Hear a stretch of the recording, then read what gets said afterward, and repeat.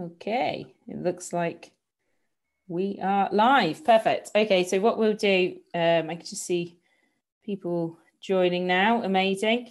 Um, thanks everyone for joining today. We are just, well, haven't even hit half past yet, we're slightly early. Um, we are going to give it a couple of minutes just to make sure we can get as many people in um, with us as possible, and then we will get started. Um, perfect. Okay. Oh, we've got loads of people flying through. Um, how is uh, the weather over there, Stefania? Uh, I'm in the Netherlands right now. Yeah, I have to say, for that standard, it's not that bad. keep it that way. oh, in in England, it's grey, very grey November. Yeah, it it's dry? not raining. Sorry. Is it dry? No, yeah, it's dry, but it's not necessarily. I don't think you'd want to go walking out there. It looks quite miserable. Looks like it's probably gonna, as always. yeah, I have to say that this week uh, we were blessed because we had a kind of a tiny summer. It's like 15 degrees, 16 degrees. Oh, lovely. Wow, it's a miracle. That sounds amazing. My favorite weather actually is when it's really sunny outside but cold and crisp. Go for a nice long walk. It should be good. Yeah, it's a good habit, especially in working from home. Yeah, yeah, exactly. Moving. Trying to leave the house. um, hello, have you been working from home since March? Yeah. Yeah, same. Pretty much. I think we had a, a time, I think, between um, July and uh, September where I start seeing the office once a week. Oh, really? yeah, and I was getting very excited, and uh, yeah, then uh, went back uh, went back to the home office. Yeah, I think I went to yeah, I've been to the office once since February. So wow, I, I, loved it. I, I just love being around my colleagues. It's yeah, it's rather than stuck in my little office slash bedroom that I've set up here. um, right, okay. I think we've got a fair few people um, joining now, which is brilliant. I think what we'll do is we'll get started, and then if any more join, hopefully they'll be able to catch up with where we are and what we're doing. Um, so I will um, just do an introduction to myself, and then I will hand over to Stefania, and I'll give you a bit of information on her. Um, but first things first, thank you very much, everyone, for joining. Um, my name is Alice. I am the head of marketing at EyeQuant. Um, EyeQuant is an AI driven predictive eye tracking technology. Um, and what we have done, I think I've seen a few names on here that have joined quite a few of the others, um, but I've been running a webinar series. This is the first one we've done in a few weeks. Um, but we're doing monthly webinar series now. And effectively, what we want to do um, is if like myself and Stefania were just discussing there, if you're working from home, hopefully it is a nice opportunity for you to jump online get away from you know the core of the work and, and learn something new and maybe inspire you for the week ahead or any of your plans that you are doing. And that's effectively all we're trying to do here. Um, so we have a, a, special speaker here so stefania. Um, she is the cxo lead at greenhouse. So greenhouse are an online specialist digital agency. Um, they use a lot of data and insight um, to be able to understand how and why people convert. And also, she has a background in psychology. Um, so, without further ado, I'd like to hand over to you, Stefania. Thank you very much. Thank you. Thank you, Alice. Um, yeah, so this is the topic we're going to talk about. We're going to talk about uh, getting to know your customer and how to do that with data. Um, very briefly, I will let me see if this works. Yes. So I mentioned, yes, uh, uh, Alex just introduced me. I'll quickly um, give you a little bit more background. So yes, I'm Stefania. Um, I have a background in psychology indeed. I study uh, social organizational psychology um, in Italy. That's where I'm from. And I study uh, uh, economic psychology and behavioral science uh, in Tilburg University in the Netherlands. Um, now I work at Greenhouse. I'm a CXO lead there, and uh, since 2013, uh, I was working. I've been working at Greenhouse um, uh, in online marketing and in the conversion optimization industry. Um, and I'm an expert in consumer behavior and behavioral sciences. Uh, I really have a strong focus on uh, uh, co improving consumer experience so we can make the internet a better place. Um, so let me tell you very shortly about Greenhouse to give you a bit of context. Is a, is a brand and performance agency.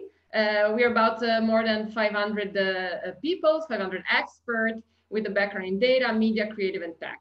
Um, and in 2000, uh, we're based in Eindhoven, very important to mention for those that are not from the Netherlands, because Amsterdam is always the, the hot spot. Um, in 2019, we became part of Group M and WPP, which is one of the largest communication agency worldwide. And to give you a, an idea, um, one out of three ads that, you, that are seen uh, uh, worldwide is placed by Group M agency. So there's a lot of advertising going on there, but of, of course also data. That's why we're here. Um, yeah, so how to get to know your customer, especially now that is a little bit uh, uncertain times, it becomes harder and it becomes even more important, more than ever before. And what is that we see? I think mostly, uh, you know, uh, in March, uh, we've seen a lot of uh, uh, irrational behavior around us um, what we see is that people are really predict, uh, um, behave irrationally in very obvious ways. Um, and of course, these things don't really make sense if you don't understand the consumer behavior and the cognitive biases. Um, because what you see is that uh, people are really reacting to their unconscious emotion in uh, such a predictable ways, and they're not responding to their to their uh, thoughts, you know, the rational thoughts. Uh, you know, like uh, for the fan of Kahneman, you know, the system one and system two, people are much more on system one nowadays, which is the automatic pilot, um, and becomes difficult to pay attention to the rational thought. Um, but yeah, when whenever we see this kind of behavior, and here I just had a picture of uh, empty shelves. I think more of us have seen that. Uh, yeah, the most most most important thing is to understand why, what it is, and what is going on in people's mind uh, now that we're entering even a second uh, wave, and we have already entered actually. Um, so what is it? We we we have seen that uh, uh this uh, empty supermarket all of a sudden uh, was not a supply chain problem uh, this is not really making sense, right? Uh, what, what people are going have been going mad. Um, so this is a clear example of impulsive behavior. I have one more. I have another example online. This is one of our clients uh, that uh, sells coffee machines, and uh, this is a trend line. And what we have seen is that uh, we have noticed a peak in sales in the Netherlands on the days where the pri prime minister was having a press conference. Uh, so yeah, we we added like a joke uh, in the office, like okay, just in case you're locked at home, just make sure you have a good coffee.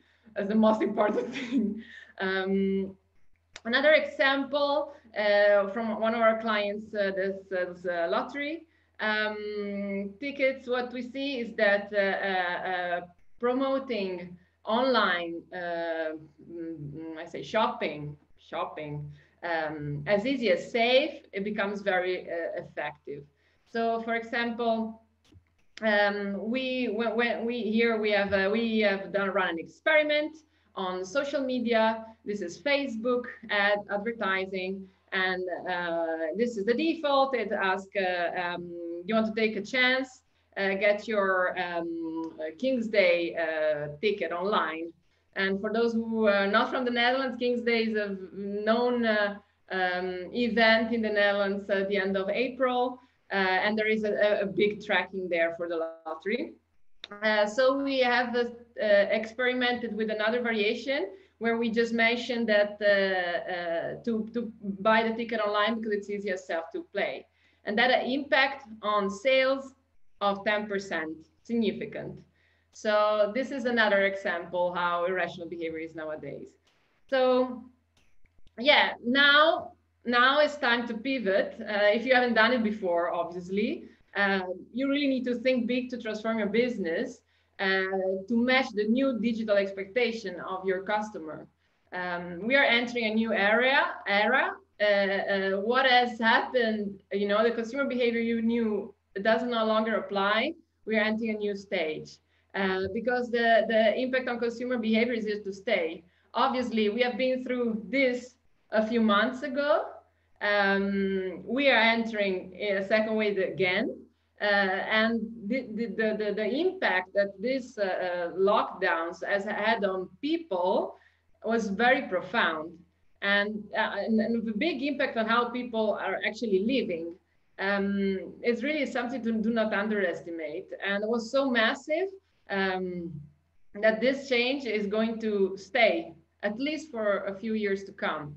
Um, so how can you adapt to this new uh, situation um, first thing is to move away from the conversion transactional optimization and really moving towards consumer experience. People need brands that trust you, that to trust. Uh, they need uh, they need to uh, feel the connection with the brand. It's not anymore about uh, you know click and data and conversion. Let's get someone in. You really need to uh, take care of your customer. And the second thing is really to understand the customer needs. Really pay attention to what people need and try to meet those needs. Um, so I have two example of that, of that, uh, two cases. Um, the first one is about indeed the shift from conversion to consumer experience. Um, how did we that, do that? I'll you an example. Uh, but before uh, we do that, I'll tell you a little bit why, why this is important. Um, yeah, what what you, what this data show is that people are more inclined to what's familiar to them. So 70% uh, assess that uh, uh, um, people are more inclined to uh, to stay um, around traditional venues. Uh, about 70% of respondents said that, and even more wants to go somewhere familiar instead of somewhere new. And yeah, these are quite impressive numbers. It's it's not just a little trend, it's like a, a big statement. Um, and what that means is that if you're able to live up to the customer experience that, uh, that meets customer expectation, then they'll stay with you. Um, and that is something that is a big shift to before to the, where we were before. Um, um but, Stefania, sorry yes. to interrupt you there. So, yeah. what what so the reasoning behind or, or what you know what we perceive the reasoning behind to be around why people are now um you know playing it safe i suppose is what what this data is showing us. Um what what would you say the reasoning behind that that is in in the links to the current climate?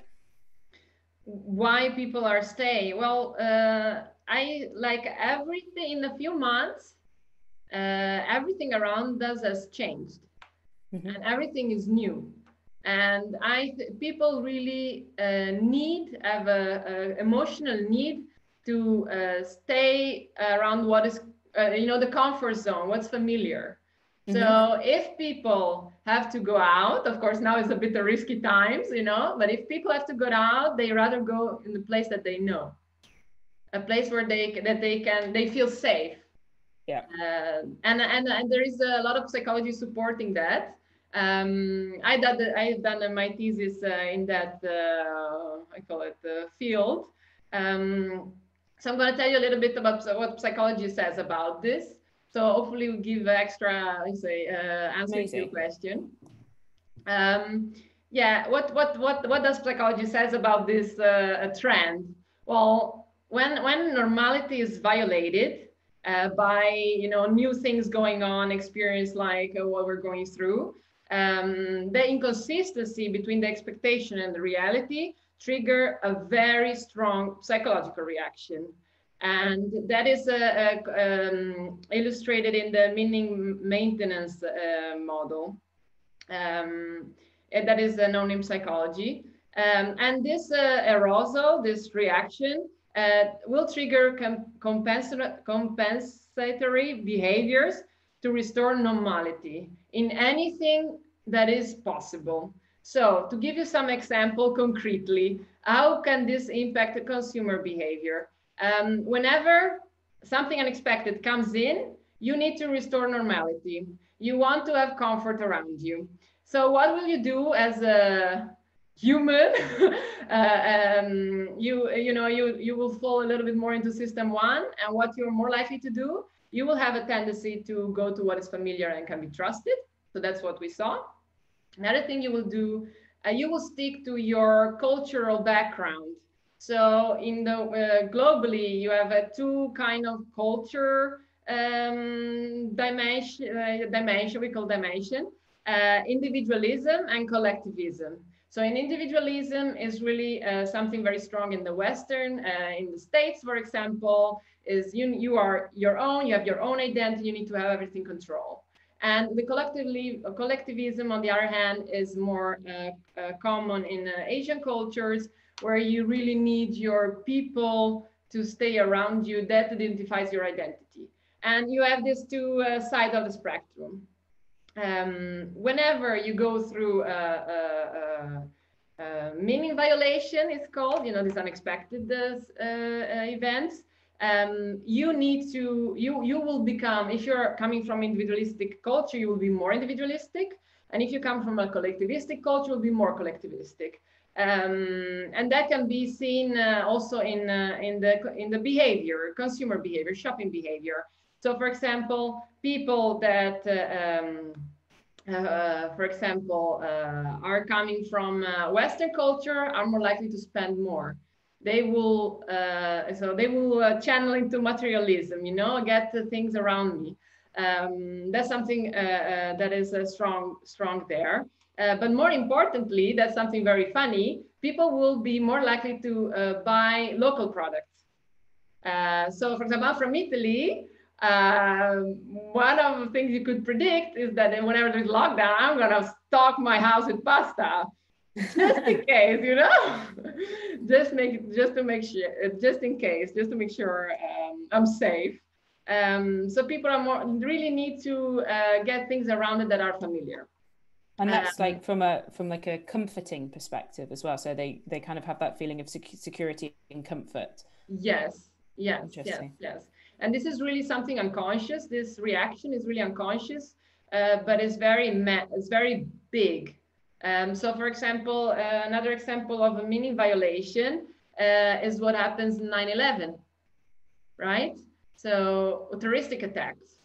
Uh, whenever there is something like this happening, people are reacting and shopping is one of the way people can restore normality around them uh, even more. Interesting. So that is uh, some uh, psychology literature right there. Um, but to uh, get back to you know the story is like okay people really need to have something familiar uh, but but why um, like why why is that important even more important now to provide a, a good consumer experience? Well it always been important now even more. Um, yeah what you see is that if people are having a good experience uh, uh, customer more likely to prefer your brand they are more likely to trust your brand three times as much. 60% will say, 74% will spend more, and 75% will recommend you. So it does pay back as well for businesses. So you want people to, uh, uh, um, uh, of course, enjoy your experience. You need to live at their expectation, enjoy your experience, and they will stay. They will be more likely uh, to stay. So that has become, experience become more important than ever before. Um, so let me show you some examples, something concrete. Um, we have um, uh, been working with uh, one of our customer, Dela.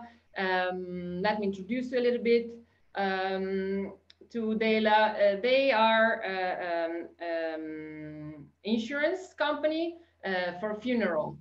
Um, so it's uh, it's uh, also uh, very important to them to have a good uh, brand identity and uh, give a good experience. Um, so what we did with them, we have optimized their brand experience and also conversion rate for the new corporate, corporate identity. So for them, um, the, one of the more, um, how can I say, like uh, uh difficult questions to answer was, okay, we have a new brand identity how can we improve the brand experience without negatively impact the conversion rates of the advertising in this case? Um, well, on the left, what you see is uh, uh, display advertising. Uh, this uh, banner it has been um, it has been uh, optimized for eight years at least.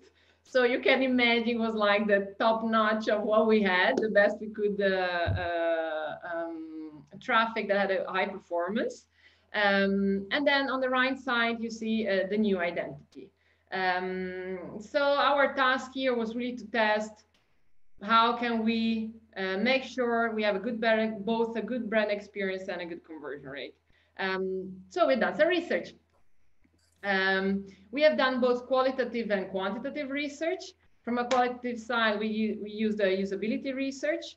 Um, what we what we did there is to essentially show uh, these two versions of advertising and ask people what their preference was. And you see what we saw is that 79% of uh, uh, people had a, a, preference for the design on the right hand side. So that's uh, that's the one with the visual, the the, the new corporate identity.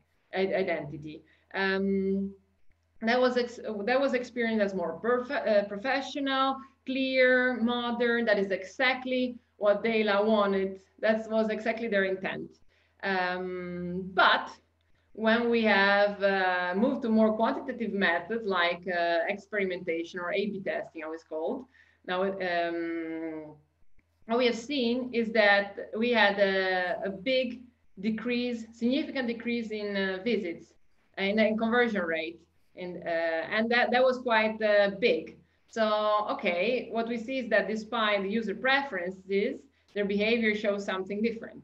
So we mm. went back to the drawing table and uh, we have uh, um, reworked some uh, variations. And uh, what we see in, uh, we have used different best practices. So in the second advertising variation you see, you will find uh, um, this uh, visual where we have um, implemented the Gutenberg diagram principle. So it's a UX principle where people are scanning the information from left to right in a bit of a Z uh, pattern, like a Zorro. So, um, so you see that what is, what is it that you are purchasing on the top, then you have the form, you have the logo, and you have call to action. So that was the number one. Number two was the uh, social proof. This was a, a, a persuasion principle that was very, very effective for this brand. Uh, based on previous optimization uh, roadmaps. And here, what we did, we added the social proof on the bottom. So this was also one of the, the best practice that came from the optimization from the all-time winner um, ad. And the last one, we combined both. Um, so here you can see the Guten dia dia um, diagram principle together with social proof. And we have removed the visual for uh, say extra clarity because sometimes when you have too much going on, it becomes uh, too heavy to digest. Um, so that's what we did based on the scalable learnings of Dela. And what have we learned? What have we learned? the less is more. Actually, this lesson is something that I, I, have learned since I work in this field. Always less is more. Uh, so yeah, it's really about uh, uh, try to um, keep things easy to digest and clean. So then uh, um, that's often giving the best uh, best performance. Um, it's very interesting you say that because from like an EyeQuant perspective and a lot of the customers we speak to so with EyeQuant you get a clarity score so you can actually quantifiably measure how clean and clear your design is. Um, and uh, a lot of our customers say the higher the clarity score so you know the more kind of white space that you give a design and, and less clutter uh, the better results they see in terms of performance for conversion yeah that is very key actually and also in marketing, in a, what you see, uh, I find that a little bit funny. Uh, marketeers tend to add more information, bring more. Yeah, then I don't know what you mean. Add, add, add. then all the information are going to disappear because people don't know where to look it's cognitive overload isn't it it's yeah. too much they don't they don't know where to look what is it what is it that you want me to do next what are you telling me and normally you know that's when people will will not either not click or if you're looking at it from a website perspective they will bounce they they will click back and they'll try and find something else because uh, yeah it's just getting that um, kind of um, information hierarchy correct getting the colors correct so people be able to clearly understand what it is exactly you're trying to tell them Yeah, yeah, indeed. I couldn't agree more. So in doubt, if you want to add anything, just just leave, uh, not leave it out, but put in the most important information. Mm. And EyeQuant can help a lot with that as well, of course. Yes, definitely. Okay, so this was the first case. We have one more to go. So when I was talking about how to adapt, I showed you what uh, how you can shift from conversion to consumer experience, how to measure consumer experience. And the second part is really understand your customer needs. So I'm going to show you a case on that with some background as well. Um, so why shall we understand your customer needs? Um, well, what we have seen is that during the lockdown, uh, especially the first one, uh, you see that fashion, home, consumer electronics categories have witnessed a very big shift in online purchase. Uh, this is especially for uh, UK. Uh, These are data from a UK study from uh, Google and Kantar. Um, yeah, and that happens while, of course, people had to restrict their movements and essential journeys to essential journeys. Um, so this was a, this gives a little bit of background. You know, 86% of purchase in fashion were online. That's huge. That's a lot. Mm. Huh? And 67 of home garment category is a little bit less, still quite a lot. And then 73% for electronics. Uh, so yeah, you better move online. uh, that's, that's, that's what this data say. So as a brand, yes, go ahead. Just um, thinking, so this uh, the changes that we've seen, and, and we've said here, like UK is in the second second wave, so second lockdown at the moment. Um, this, I think one way we can look at it is so the high street effectively is closed. So the only option they have is to shop online. And I've read um, fair few kind of articles and opinions on this because I have a real fascination as to so there's one side that's saying uh, this is kind of expedited um, consumer behavior. So it's brought it forward very quickly as to what people were predicting were going to be happening uh, much further down the line. Um, do do we think um, because they didn't have any choice, these have gone so these have gone up? Do we predict, or you know, your thoughts or feelings whether people will now uh, once lockdown has um, been lifted and we have um, you know less restrictions placed on us that we will then see these numbers come down um, because people will be shopping in the high street more or do we think it will still it will come down but still be a lot higher than before covid hit yeah, I, I think uh, I think like what this data shows is that people are changing their habits. Mm-hmm. And yes, of course, if the shops are open, then you're more likely to go, obviously. Uh, but when habits are changing for extended amount of time, uh, you're going to to to do it more. So you get used to it. Yeah. So you're never mm-hmm. going back to I think what we what we had before. You know, like the most interesting thing is that the people that are not used to, were not used to be online and shop online, now they have to. Hmm. So they need to, you know, they need to learn how to do it, obviously, and that's especially true for you know people a little bit older or people that are not used to uh, using technology as much. Um, uh, but yeah, like they they they will also learn, and maybe for some things they will find it also convenient um, so I don't think yeah. it's never a way back to uh, what was before. So you really see yeah. that people are uh, moving online as well. Yeah, completely. So what does that mean? That mean that means that your audience is changing. Um, yeah, what you know, your your your uh, visitors are different people uh, from different backgrounds, not really the ones that you had before. So what, what you knew about your customers doesn't no longer apply because you're, you're dealing with new people from all kind of different uh, uh, ages and, um, and backgrounds. So yeah, you really need to yeah take that into account. And of course, there is a lot of, I'm sure, I think a lot of uh, brands do a lot of research on their customer, on their target audience, and um, so forth. But now, yeah, you need to kind of review that uh, because uh, you're dealing with a different uh, audience now. So that is something you definitely need to take into account. So I'm going to show you a case, case on that. Um, this is a case, a case that we uh, run uh, uh, with T-Mobile. Um, was one of our uh, clients, uh, together with Kantar TNS um, and uh, Brain Engineers. Uh, TNS is a research uh, um, market research company, and uh, Brain Engineers they uh, do neuro usability research. Um, and here we really focus on helping consumers instead of persuading them. You know, the, that's something that is very common often in the conversion optimization world. We want to uh, shift, make a shift there. So I give you, I'll give you some background. Um, uh, what we were working on is uh, on the product um, that could be purchased online from T-Mobile. It was called the T-Mobile Thuis. It is called T-Mobile Thuis.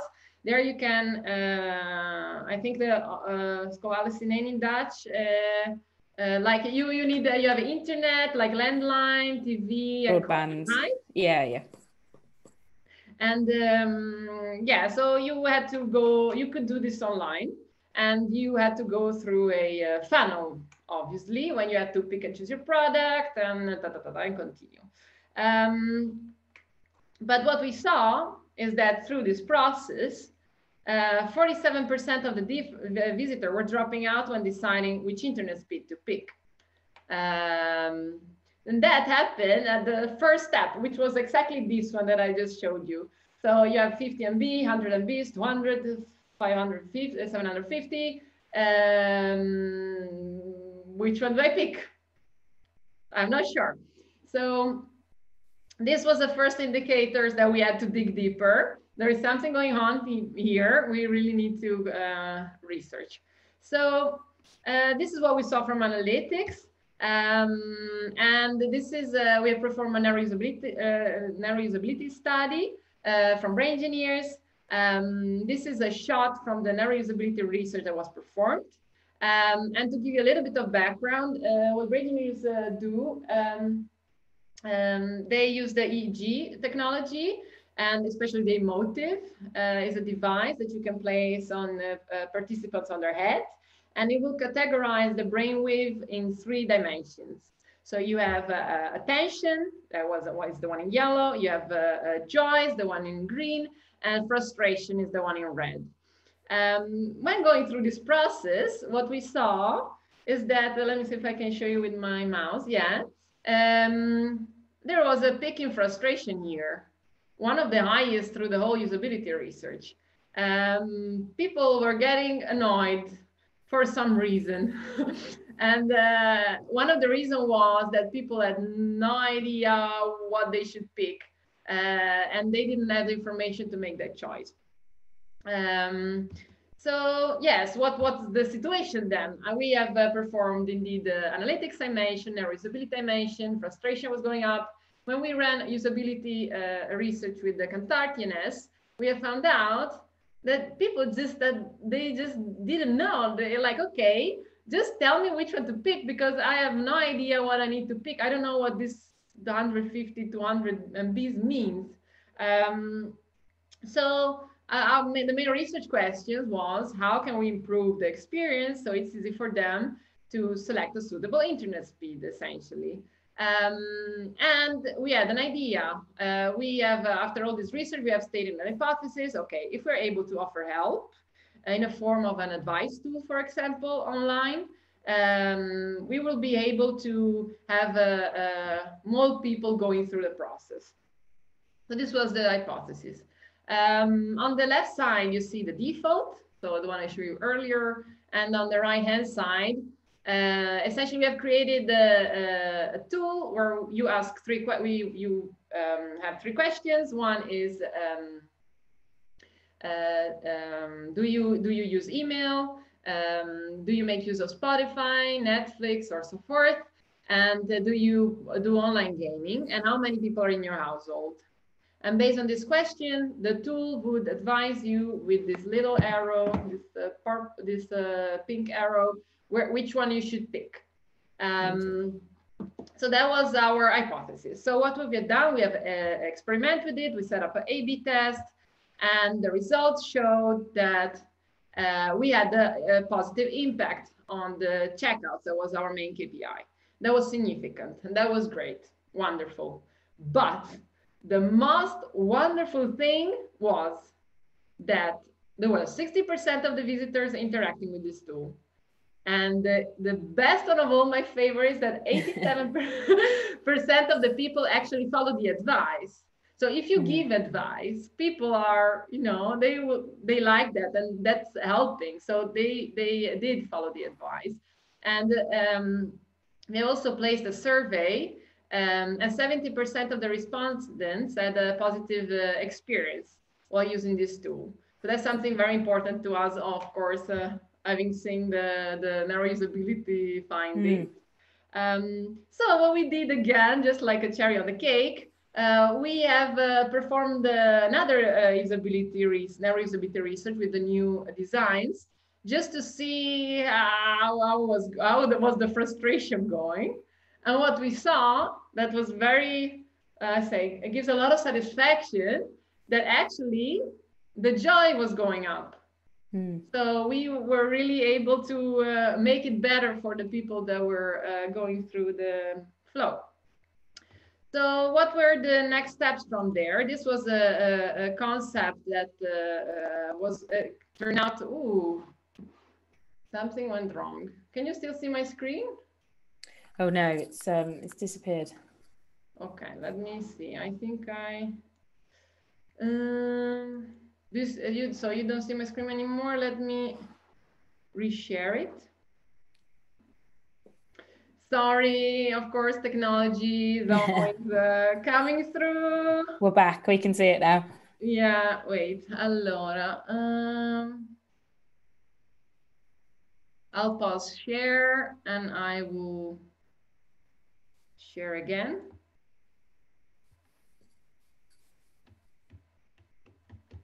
Can you not see it? No. Okay, I will uh, maybe stop share and reshare it once more and hopefully it will work. Share. The joys, the joys of a live webinar. Yeah, so exciting, right? Can you see it now? This is how you know it's not pre-recorded. um, perfect. Okay, yeah, we can we can see that now. Can you see that? Yes, or even I can change slides. Whoa. okay, so let's get going. it's amazing. Uh, yeah, it's, uh, not ever boring with the with technology, right? okay, so what were the next steps? um, uh, this was a very interesting learning and we love scalable learning. So we applied it also to the marketing uh, strategy. So we added actually a new campaign where we have uh, advertising, um, display advertising, where you could actually ask the same question and land with a pre-filled form. And we asked, uh, we had an online survey so we were asking uh, um, how their experience was, so we can keep on improving uh, the, the, the tool. And the last part, of course, we have performed heat maps to see really how people were interact, interacting with the tool. So that, uh, you know, could help us to overcome the barriers that we saw. So actually, our advice, conclusion on this is that uh, really helping your customer, listening to them and helping your customer really pays off. Uh, that's that's much more uh, impactful than um, just implementing all these off-the-shelf uh, techniques uh, that are out there. So, so that was uh, for the second case. So let's move on to the wrap-up. Um, so what was the, con the conclusion of today, the key takeouts that you can uh, bring um, home? um, so, like, well, first of all, uh, because of everything that has been going on in the last uh, few months, what you knew about your customer no longer apply, no, no longer applies. You really need to uh, uh, get back to the drawing board and really uh, get new research in and understand how, who are your customers right now. Um, so that's number one. Number two is really about making a move and shift in your even in your strategy towards more consumer experience uh, because the transaction transactional way of uh, optimizing you know conversion rate uh, doesn't pay off as much as before because of the circumstances in which you're living in and the mm-hmm. third one is really to understand ask yourself why. Why are we seeing this behavior? And this applies, of course, uh, online, but as well as offline. So these are the main three takeouts. And yeah, well, all I can say, I hope you uh, uh, think about this today. You really need to um, make a, a, better experience for people. Um, given also the times we're living in is much more important, more important than ever before. So yes, please uh, uh, take this with you, and I hope you can uh, implement this in your day-to-day -day, uh, work. Amazing. Thank you so much, Stefania. And um, just to reiterate to everybody um, on the webinar at the moment, we will be sharing this recording with you.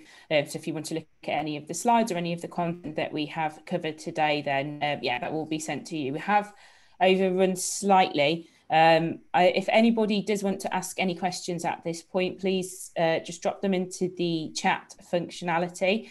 Um, and we'll probably have maybe a minute if we're lucky to be able to, to run through those. Or if not, if there's something that comes to you while you're either looking at the recording again or, um, you know, you might have a question for either myself or Stefania, then um, please feel free to um, email myself. You, I think most attendees will have my email because uh, I sent the invitations out to you all.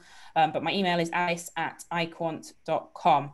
Um, I can't see any questions um, coming through. Someone typing, somebody's typing. I can't see any questions coming through hmm. just at the moment. Um, so I think, yeah, no, we haven't had any. Okay, cool, that's fine. So we'll probably end the webinar here. Um, but thank you very much for joining. Thank you very much to Stefania for providing a really, really interesting and insightful um, content there. There's a lot of takeaways for me, uh, even just working on a marketing team that I've learned along the way. Um, and for everybody uh, who's on the line, we will be doing another webinar in the next couple of weeks. So please keep your eye peeled. I'll be announcing it probably about next week. It's a good one as well. But thank you very much, everyone. Take care. Thank you. Thank you. Thank you, Alice. Thank you. Bye bye.